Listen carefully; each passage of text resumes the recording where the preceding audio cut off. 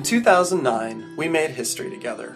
Equality NC Foundation's supporters, allies, staff, and board worked harder than ever before, and it paid off. We fought off the Marriage Discrimination Amendment for the sixth year in a row and remain the only Southern state to keep such discrimination out of our Constitution. We held on to our recent gains in HIV prevention and care funding despite the $4 billion budget shortfall. We helped end abstinence only sex education by passing the Healthy Youth Act, ensuring that our young people know how to protect themselves from sexually transmitted infection. And finally, we passed the School Violence Prevention Act, helping to end the epidemic of anti LGBT violence in our schools, and putting sexual orientation and gender identity into our state laws for the first time. Join us as we celebrate some of the voices for equality who helped us achieve this historic victory.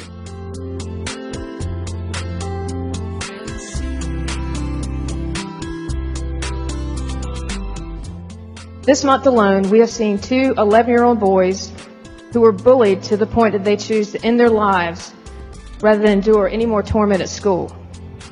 They both hung themselves in their families' homes, they both were found by their mothers, and they both deserve better.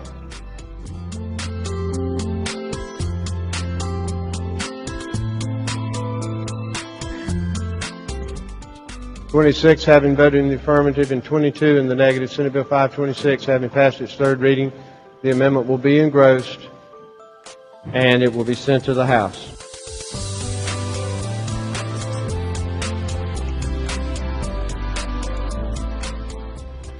To oppose this bill because you're uncomfortable with one of those categories is to fight the culture war on the back of a child.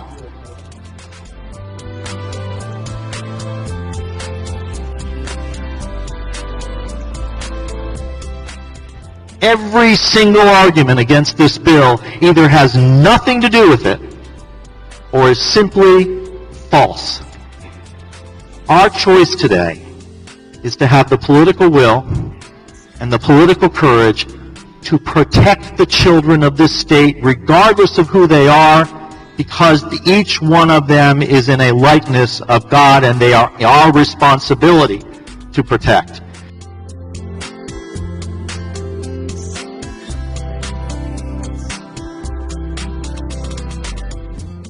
Or maybe the victim is a 10 year old little boy who just finished the fifth grade. Maybe he's real small for his age, the smallest in his class. Maybe he doesn't like contact sports, but instead loves to dance and sing and perform in the school production. He's a natural. Maybe he's a fan of soft colors and likes to wear pink like his dad.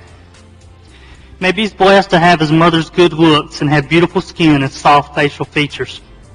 Maybe he likes to hang out with girls because he's not rough enough for the boys. Maybe because of all these things he's called sissy boy, gay, homo, or even worse. I'm going to count my votes as yes. And when my daughter and I, who's serving this page this week, go out to eat and go home tonight, I'm going to go see her little brothers who'll be in bed asleep. I'm going to lean across that bed and kiss my 10 year old goodnight. And I'm going to know that I voted the right way the way to protect him and other children like him. And if that costs me my seat in this chamber, then so be it.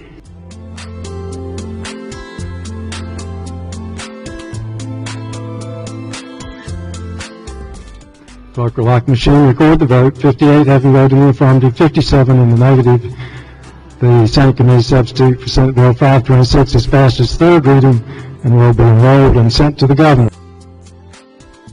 With those words and Governor Perdue's signature, our state took a huge first step towards the day when all kids and all people can be who they are and love who they love without fear. Thank you for helping us make that day come sooner.